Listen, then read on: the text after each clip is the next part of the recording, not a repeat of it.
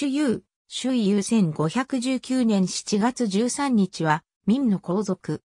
高層工事帝の異母帝で、清掃火星帝の実父。英宗の病号、健康帝の死号を送られた。健宗聖火帝の四、男として、小神妃を母として生まれる。高層工事帝の異母帝で、武装聖徳帝の叔父である。1487年に、教王に封じられた。1494年に正式に放置の安陸州、小幸県に赴く。1519年に逝去し、聖徳帝からは、剣王の死号を送られた。1521年、聖徳帝が死死のないまま崩御したため、内閣大学士の要帝和は、公明祖君によって、皇位継承者を探した。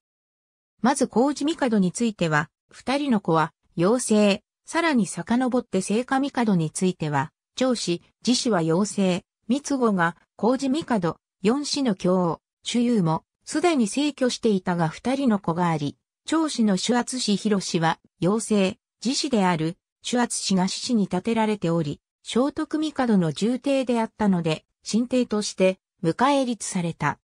主圧氏は、帝位についた後、実父に対し孫号を追贈したいと思うようになり、これが3年半にも及ぶ、大礼の儀と呼ばれる、論争の発端となった。阿蘇の反対をも顧みず、火星帝は実父に対し強検定と、追巫子とした。また、聖母の少子にも、小生皇太后と尊し、皇子帝を紅白皇と解消した。1538年9月、主有に、英宗の病号が、追巫子とされた。元の教、検定の墳墓は、民の権領へと改装された。ありがとうございます。